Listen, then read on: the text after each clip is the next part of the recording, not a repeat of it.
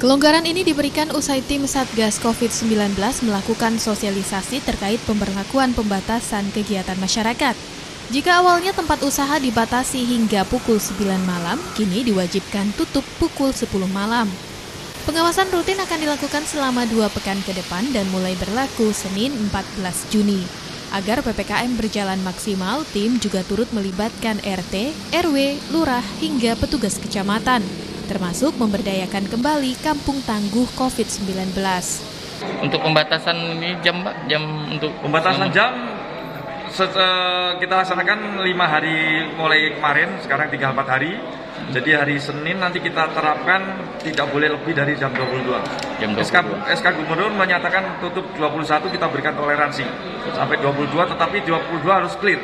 Dan ini tidak boleh diganggu gugat oleh Eh, pelaku usaha karena memang kita sudah berikan toleransi. Ya penerapan PPKM sebenarnya prinsipnya adalah penegakan protokol kesehatan atau disiplin terhadap protokol kesehatan serta penegakan aturan yang sudah ditetapkan. Hmm.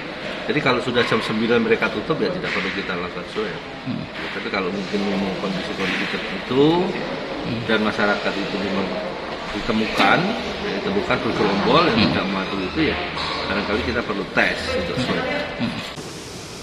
Wali Kota Pontianak juga telah mengeluarkan surat edaran tentang penerapan PPKM.